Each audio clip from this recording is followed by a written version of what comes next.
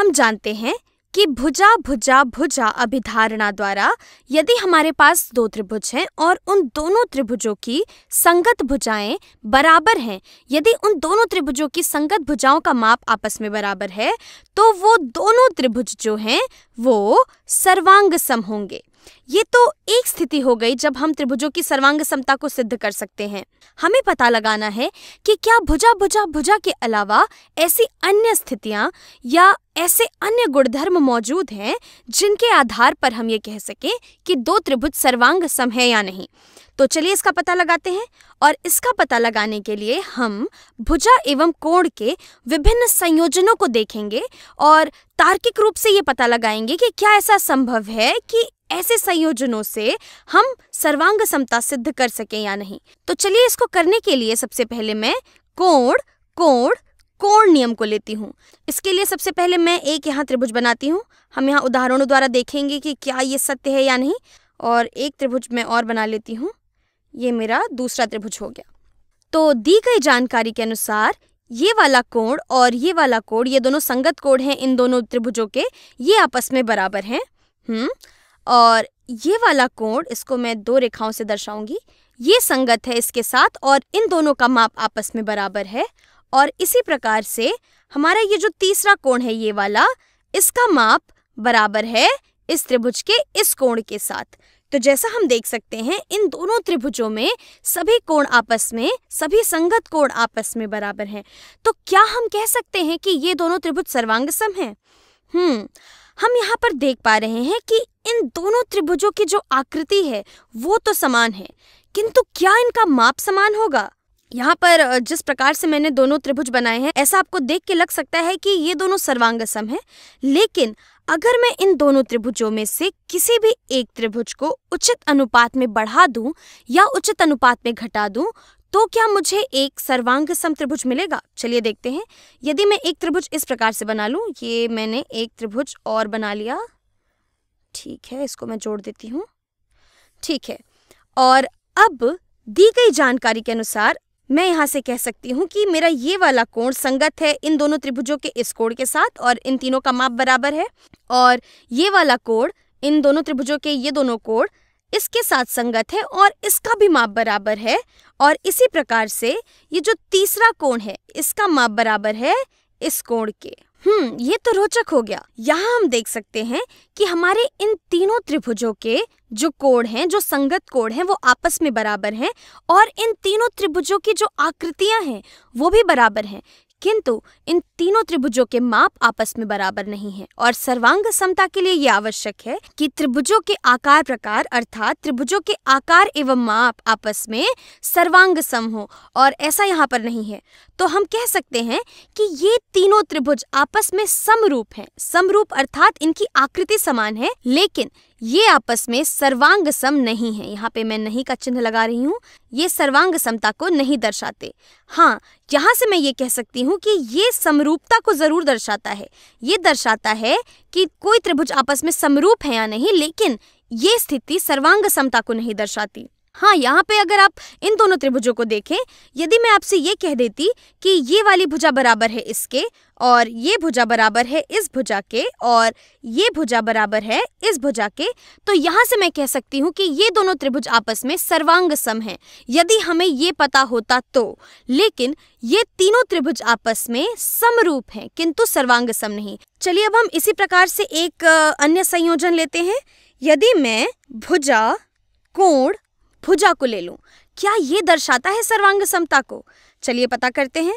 और इसे करने के लिए हम पुनः से एक त्रिभुज बनाएँगे। तो पहली भुजा यदि मैं इस प्रकार से बना लूँ, ये मेरे त्रिभुज की पहली भुजा हो गई। मैं इसको इसी रंग में रंग देती हूँ। ये हो गई मेरी त्रिभुज की पहली भुजा। हम्म और इसके अलावा दूसरी भुजा को मैं नीले रंग में बना लेती हूँ।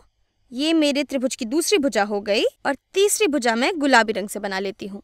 और हमें पता है कि इस त्रिभुज के एक भुजा का माप क्या है? और इसके साथ जो ये कोण है, इस कोण को मैं इस रंग में रंग देती हूँ। ये जो हमारे पास कोण है, इसका माप क्या है? हमें इस भुजा का माप और इस कोण का माप पता है और यहाँ पर हमें इस वाली भुजा का माप भी पता है जो नीले रंग की है। यहाँ से हम कह सकते हैं कि इसका माप पता है हमें और इसका माप पता है हमें। तो चलिए हम इस जानकारी का उपयोग करके एक अन्य त्रिभुज बनाने का प्रयास करेंगे।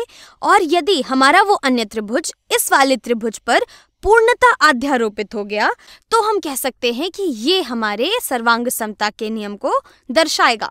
चलिए शुरू करते हैं। हमें पता है उस भुजा का माप, ये हरी वाली भुजा जो हमने यहाँ दिखाई। तो मैं उस भुजा को ऐसा ही बना लूँगी। ये दर्शाता है हमारी उस भुजा की लंबाई को। ठीक है? अब हमें हमारे कोण का माप पता है और ध्यान दें कि हमेशा हम इस सम्मिलित कोण को ही लेते हैं, जो हमेशा इन दोनों भुजाओं के बीच में आता है। तो यहाँ पर अब मैं इस कोण के माप के अनुसार एक कोण बनाऊँगी। ये हमारे इस कोण के माप के बराबर है। तो चलिए हम अपनी तीसरी भुजा बना लेते हैं। वो भुजा इस कोण के अनुदेश होगी। तो यहाँ पे हमने अपनी इस जानकारी का उपयोग करके एक भुजा, कोण और एक भुजा बना ली है। तो अब इस त्रिभुज को पूरा करने के लिए मुझे इसकी तीसरी भुजा बनानी होगी और तीसरी भुजा हमारे इस भुजा की बिंदु से शुरू होगी और हम ये कह सकते हैं यहाँ पे कि तीसरी भुजा मैं किसी भी दिशा में ले सकती हूँ। वो भुजा कितनी भी लंबी हो सकती है, चलिए मान लेते हैं कि वो भुजा इस प्रकार से है। ठीक है, लेकिन इस त्रिभुज को पूरा करने के लिए मुझे अपनी इस भुजा को इस भुजा से जोड़ना होगा, यानी कि मुझे इस भुजा को इस दिशा में घुमाना होगा। तो यदि मैं इसको इस दिशा में घुमाती हूँ तो ये हमारी इस भुजा से कुछ इस प्रकार से जुड़ेगी। और ये हमारी तीसरी भुजा होगी। हम यहाँ से देख सकते हैं कि हमारे पास इन दोनों भुजाओं को इस प्रकार से जोड़ने के अलावा कोई और रास्ता ही नहीं बचा है। मतलब यदि मुझे भुजा कोण और भुजा दिए हुए हैं तो जो मेरी तीसरी भुजा होगी त्रिभुज की, वो हमेशा ही ऐसी ही बनेगी। मेरे पास कोई और उपाय है ही नहीं, कोई और तरीका ही नहीं है कि मैं इस भुजा को कहीं और स्थित कर सकूँ। तो यहाँ से हम कह सकते हैं कि यदि मेरे पास भुजा कोण, भुजा नियम है तो मुझे हमेशा एक विशिष्ट त्रिभुज ही मिलेगा। इसका मतलब है कि मैं कह सकती हूँ कि भुजा कोण, भुजा दर्शाता है सर्वांग समता के नियम को। तो यहाँ से हम कह सकते हैं कि हमारे पास दो नियम हैं, जिनका उपयोग करके हम त्रिभुजों की सर्वांग समता सिद्ध कर सकते हैं। पहला है भुजा भुजा भुजा अभिधारणा या अभिगृहित, और दूसरा है भुजा कोण भुजा अभिधारणा अभिगृहित। या अगर मैं इससे सिद्ध कर सकूँ तो मैं इसे प्रमेय भी कह सकती हूँ। ठीक है, चलिए अब हम एक तीसरी स्थिति लेते हैं, कोण भुजा कोण नियम। और देखते हैं कि क्या ये सर्वांग समता को सिद्ध करता है या नहीं। तो इसे समझने के लिए चलिए हम फिर से एक त्रिभुज बना लेते हैं। ये हो गई मेरी एक भुजा और इसको मैं दूसरी भुजा मान लेती हूँ और ये मेरी तीसरी भुजा हो गई। और दी गई जानकारी के अनुसार हमें दो कोणों का और एक भुजा का माप पता है। तो मान लेते हैं कि ये वो भुजा है जिसका की माप हमें पता है। ये इसको दर्शाते हैं इससे और इसके अलावा हमें इस वाले कोण का माप पता है? ये कोण मान लेते हैं, यहाँ पे है, इसके एक अंत पे, और इसी प्रकार से हमें इसके दूसरे कोण का माप भी पता है, और उसको मान लेते हैं कि ये यहाँ पर स्थित है, ये हमारा दूसरा कोण हो गया। तो चलिए अब हम प्रयास करेंगे कि हम इस जानकारी का उपयोग करके एक ऐसा ही त्रिभुज बना सकते हैं या नहीं, ठीक है? तो इसके लिए सबसे पहले मैं एक भुजा बना लेती हूँ यहाँ पे, अपनी इस प्रकार से। ठीक, ये भुजा की लंबाई बराबर है इस भुजा की लंबाई के और इसी प्रकार से मैं इन दोनों कोणों को भी बना लूँगी। यहाँ पर ये कोण मैंने बना लिया, जो इसके बराबर है, और मेरा दूसरा कोण, जो कि इसके बराबर है। और अब इस त्रिभुज को बनाने के लिए मुझे दो भुजाएँ और बनानी होंगी, और यहाँ पर हमें कोण तो दे ही रखा है। तो बाकी दोनों भुजाओं को यदि मैं बनाऊँ तो मैं कैसे बना सकती हूँ? यदि मैं यहाँ से एक भुजा बनाऊँ तो ये तो आधार है हमारे पास और कोण भी है। तो ज़ाहिर सी बात है, जो इसकी तीसरी भुजा होगी, वो कितनी भी दूरी पर जा सकती है, क्योंकि इसका माप तो हमें पता नहीं है। इसकी लंबाई कुछ भी हो सकती है, ठीक है। और ये जो इधर वाली भुजा है, हमें पता है कि ये कितने कोण पर स्थित है इस वाली भुजा के साथ। तो चलिए इसको बनाते हैं, और इसकी भी लंबाई हमें नहीं पता तो ये भी कितनी भी लंबी हो सकती है और ये कहीं भी जा सकती है। इसके भी यहाँ पे मैं तीर बना देती हूँ, दर्शाने के लिए कि इसकी लंबाई कुछ भी हो सकती है। और जो एक बात ध्यान देने वाली है, वो यहाँ पर ये है, इन दोनों भुजाओं की लंबाई चाहे कुछ भी हो, लेकिन ये दोनों भुजाएँ आपस में यहाँ पर मिलेंगी, और यहाँ पर ये दोनों प्रतिक्षेद कर रहे हैं। यहाँ से हम देख सकते हैं कि हम चाहे कितनी भी लंबी रेखा खींच लें, किंतु हमारी जो भुजा की लंबाई है, वो तय है पहले से ही। यदि हम इस जानकारी का उपयोग करके एक त्रिभुज बनाने की कोशिश करें तो और यदि मैं इस त्रिभुज का अध्यारोपण कर दूँ इस त्रिभुज पे तो आप पाएँगे कि ये दोनों आपस में सर्वांग सम है। तो यहाँ से मैं कह सकती हूँ कि कोण, भुजा कोण, ये भी दर्शाता है सर्वांग समता के नियम को। तो आप यहाँ कह सकते हैं कि हम तार्किक रूप का उपयोग कर रहे हैं, हम तार्किक रूप से सिद्ध कर रहे हैं कि ये सर्वांग सम कैसे हैं। तो चलिए अब हम एक और स्थिति लेते हैं। अब मैं लूँगी कोण कोण भुजा। चलिए देखते हैं कि क्या ये सर्वांग समता को दर्शाता है या नहीं। और इसके लिए जैसा हम पहले भी कर चुके हैं, हम एक त्रिभुज बनाएँगे। तो चलिए अपना त्रिभुज बनाते हैं। यहाँ मेरी त्रिभुज की ये एक भुजा हो गई, फिर ये हो गई मेरे त्रिभुज की दूसरी भुजा। और ये मैं बना लेती हूँ अपने त्रिभुज की आखिरी भुजा। तो दिए गई जानकारी के अनुसार हम मान लेते हैं कि ये वाला जो कोण है, ये इसके बराबर है, हमें एक कोण का माप पता है और हमारा जो दूसरा कोण है वो ये है और हमें इसका भी माप पता है और इसके अलावा हमारी ये जो भुजा है, यहाँ पे ये वाली जो भुजा है, हमें इसका माप पता है। तो क्या अगर हमारे पास इतनी जानकारी मौजूद है तो हम एक विशिष्ट त्रिभुज बना पाएँगे या नहीं? चलिए देखते हैं। तो पहले मैं अपने इस भुजा को बना लूँगी। यहाँ पे मैं इस भुजा को बना लेती हूँ इस प्रकार से। ये हो गई मेरी भुजा, जो इसके बराबर है, इसकी लंबाई। ये इसको दर्शाती है। अब इस भुजा पर मुझे एक कोण का माप पता है। यहाँ पे मैं इसी प्रकार से इसके अनुदिश एक कोण बना लेती हूँ। मान लेते हैं कि ये कोण है। तो अब हमारे पास ये कोण है और इस कोण के अनुदिश हम एक भुजा बना सकते हैं अपने इस त्रिभुज की। हाँ हालाँकि मैं इस कोण की जो भुजा इसकी लंबाई को, इस भुजा की लंबाई कुछ भी हो सकती है। मैं यहाँ पे एक तीर लगा देती हूँ इस बात को दर्शाने के लिए। ठीक है।